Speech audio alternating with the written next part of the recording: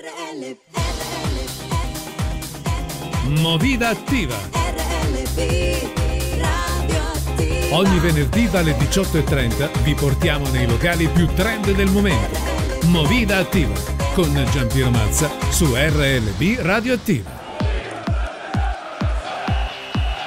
RLB Radioattiva e qui Cosenza.it presentano Teste di calcio. Bentrovati da Simona Gambaro al consueto appuntamento con Teste di calcio del lunedì, la rubrica lo ricordiamo curata dalla redazione sportiva di RLB Radioattiva e quicosenza.it.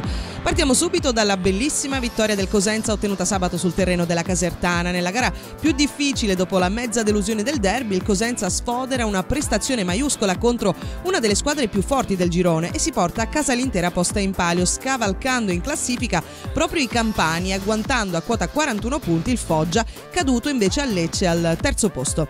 Per tutto il primo tempo fatta eccezione per un palo colpito dall'ex De Angelis, la partita non regala grandi emozioni. Il Cosenza prova qualche ripartenza con i soliti Cavallaro, Statella e Crieco, ma con poco costrutto. Nella ripresa la partita diventa pirotecnica e piena di occasioni. Il Cosenza è come un cobra avvelenato e ad ogni ripartenza dà l'impressione di poter fare del male alla retroguardia campana, anche perché la Casertana si riversa in avanti alla disperata ricerca del gol, lasciando però delle gigantesche praterie per i veloci contropiedisti rossoblù che vanno a nozze. Intorno alla metà del secondo tempo, Criaco e Cavallaro si divorano due limpide occasioni da rete, anche se il match point capita sul sinistro di Lamantia, che dopo uno stop di petto ed una mezza girata fa la barba al palo. La partita però si decide all'84esimo, Rainone rimedia il secondo giallo dopo un fallaccio su Arrighini e due minuti dopo il Cosenza trova la rete del vantaggio con Arrigoni che riceve parla da Arrighini e fulmina Gragnagnello con un forte e preciso destro. Gli ultimi 5 minuti sono una baraonda con dirigenti che entrano in campo per protestare, a loro dire per il pessimo arbitraggio, i calciatori della Casertana che se, prendono, se la prendono con quelli del Cosenza perché hanno esultato, insomma sugli spalti i tifosi contestano veemente la loro squadra, ne fa le spese Finizio che protesta troppo e si fa buttare fuori lasciando la Casertana in 9. Butov nel frattempo è entrato nel finale su un ennesimo contropiede e si divora la rete del raddoppio, ma non c'è tempo di disperarsi perché dopo 4 minuti di recupero arriva il fischio finale del signor Pillitteri di Palermo che manda in paradiso il Cosenza e all'inferno una Casertana in crisi di gioco e risultati, pesantemente contestata dai propri tifosi. E la prossima settimana, tra l'altro, al Marulla arriva la Juve Stabia che sabato ha schiantato il Martina con un roboante 6 a 0. Passiamo adesso alle dichiarazioni post gara. Iniziamo proprio dal tecnico del Cosenza, Giorgio Roselli. Contento naturalmente per la vittoria e per la grande prestazione dei suoi ragazzi che non hanno affatto demeritato al cospetto della ben più quotata casertana. Per l'allenatore rossoblu c'è da migliorare soprattutto nei primi tempi dove troppo spesso il Cosenza sembra addormentarsi. Era una sfida tra due squadre che stanno facendo un grande campionato. Queste due squadre, come hanno dimostrato oggi, stanno molto bene, al di là che nell'ultimo periodo la Casertana ha fatto meno punti, però ha cercato di vincere la partita fino alla fine come ha cercato il Cosenza. È stata veramente una grande partita. La cosa importante che non deve mai mancare è il concetto di giocare in un certo modo, cosa che abbiamo fatto poco nel primo tempo e molto nel secondo tempo. Abbiamo avuto molte occasioni, ma ha avuto occasioni anche la Casertana. Il calcio è fatto di questo, è normale che il Serie A hanno una percentuale di realizzazione più, più alta, noi ce l'abbiamo meno alta, però queste due squadre, ripeto, hanno dato vita a un match, soprattutto nel secondo tempo, a viso aperto, fino all'ultimo tutte e due le squadre hanno cercato di superarsi. Questo è stato un grandissimo spot per il calcio. E per Roselli questa è una squadra che stupisce di domenica in domenica, non mollando un centimetro. Il tecnico umbro però pensa già alla Juve Stabia. Non è cambiato assolutamente niente, è cambiato il fatto che questi ragazzi ancora oggi veramente hanno stupito me e un pochino tutti. Sicuramente come gara sarà molto più difficile di quella di oggi da preparare, mi auguro che i ragazzi recuperino energie perché abbiamo bisogno veramente di stare benissimo per fare bene contro una squadra che oggi ha vinto 6-0, dunque penso che stia molto bene. E allora fin qui mister Roselli, tra poco ovviamente ascolteremo i calciatori rossoblù e anche le furiose dichiarazioni del presidente della Casertana Corvino. RLB, Radioattiva. radioattiva, radioattiva.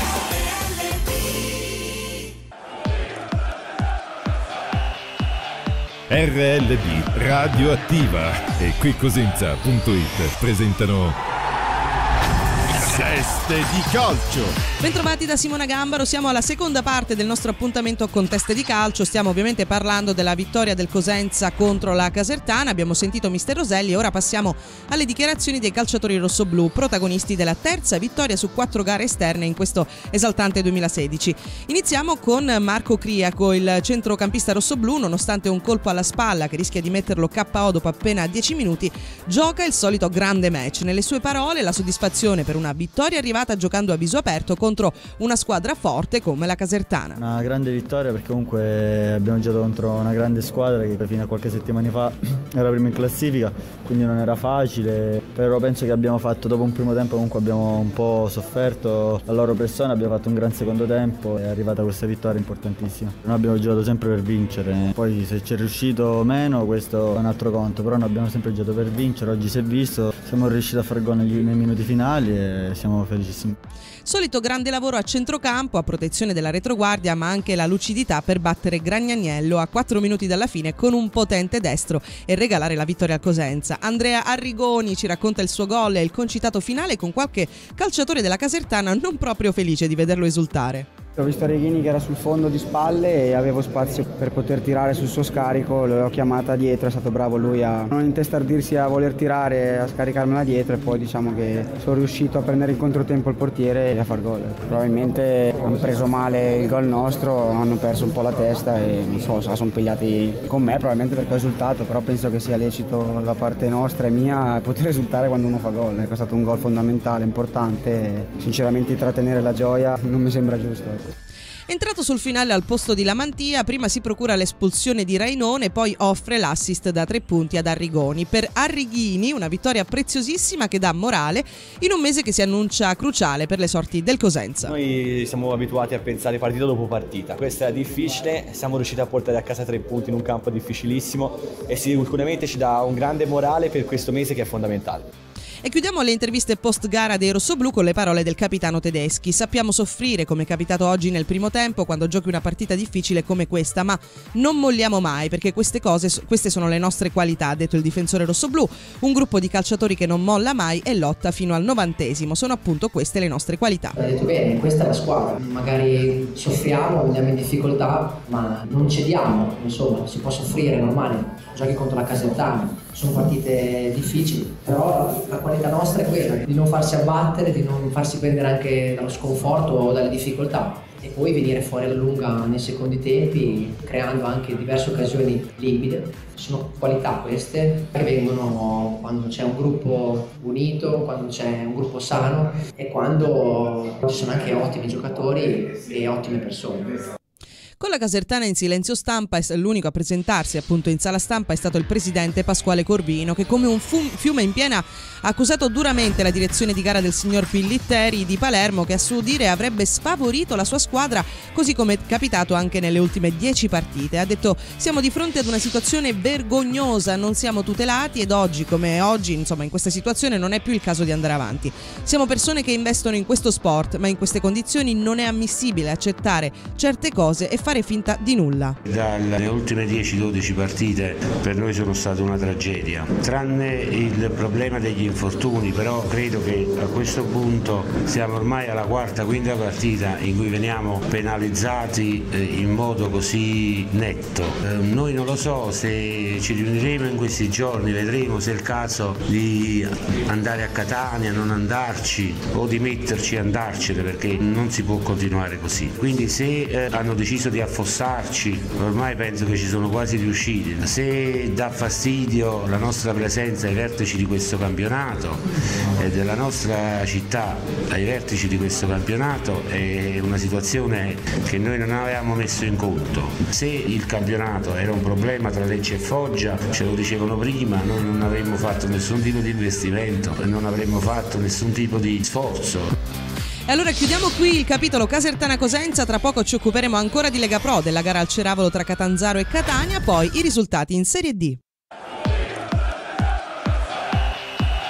RLB Radioattiva e quicosenza.it presentano Teste di calcio. Ed eccoci alla terza e ultima parte di teste di calcio. Allora restiamo in Lega Pro, pari ad occhiali al Ceravolo tra Catanzaro e Catania in una gara rovinata per oltre un'ora dal fortissimo vento. Un pari sostanzialmente giusto in un match avaro di occasioni da rete nitide su entrambi i fronti, con il Catania che ha avuto qualche occasione in più nel primo tempo a favore di vento, mentre nel secondo tempo il Catanzaro ha sfiorato il vantaggio in un paio di circostanze ed ha avuto l'occasionissima con Razzitti che da pochi passi non è riuscito a mettere in rete l'assist arrivato da un colpo di testa di Moi da ottima posizione. I giallorossi hanno fatto di tutto veramente per sbloccare la gara, ma il Ceravolo in questo 2016 sembra stregato.